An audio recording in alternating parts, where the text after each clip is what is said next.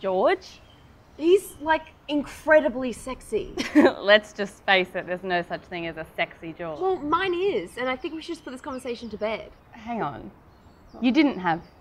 Sex. No, of course not. You liar. Rhea, I'm not lying. You totally lost your V card to him. I'm not that kind of girl. Oh, really? The kind of girl that does it, or the kind of girl that does it and then doesn't have the lady balls to tell her best friend? What? I want every detail. No. Now, bitch! You know, you call me bitch a lot. It's really not a term of endearment. I want every detail now, shitface. You're really not heading in the right direction with that one either. Okay, tell me. No. Tell me. No. Tell me.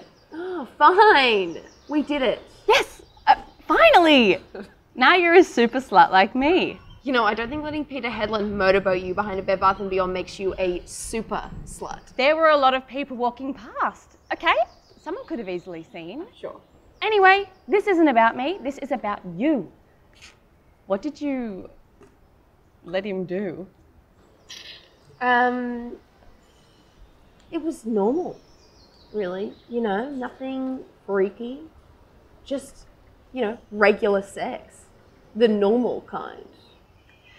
You know, you're being pretty cavalier about this. Aren't you supposed to be eternally in love with him and all that shit? Um, maybe if I was a gossip girl or in the traveling pants or something.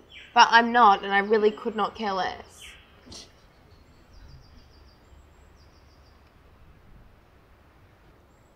Hi. Oh, I'm just with my friend Rhiannon. No, you know Rhiannon. Um, she is perpetually angry. Yeah. Yeah, That's her. Okay. Um, yeah, no, that's fine. Okay, I'll see you then. Okay, bye. Big BIT. What, what is that? Um, bedazzling personality, beautiful soul.